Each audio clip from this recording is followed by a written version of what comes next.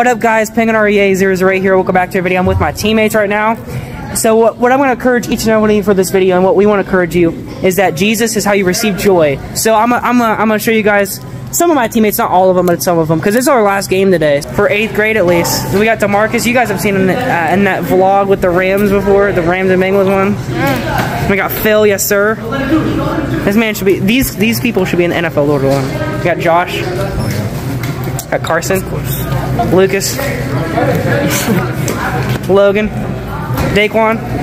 Oh, Elijah, you guys know him, and you guys know Brady. Yeah. You guys have a, these guys have a YouTube channel themselves.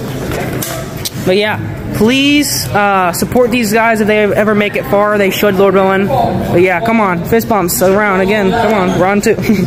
God bless y'all. God bless you. But yeah, Jesus is how you receive joy. Because Jesus is joy, and He's and uh, He gave Himself a ransom for all of us so that we could live and have eternal life. Uh, because He saves and He gives. Because He, hallelujah. But yeah, He gives and takes away, in good ways though, in ways that we need. So yeah, please accept Jesus into your life because He is the Lord above all names and He's the Lord above every name. God bless each and every one of you. We'll See you guys. We're out, but yeah, remember Jesus gives joy because it's more blessed to give than receive. Rejoice in the Lord always, and again I will say rejoice. Philippians 4 4. God bless each and every one of you. We have Ace also from the football team. So yeah, Jesus gives, doesn't he? Yes, sir.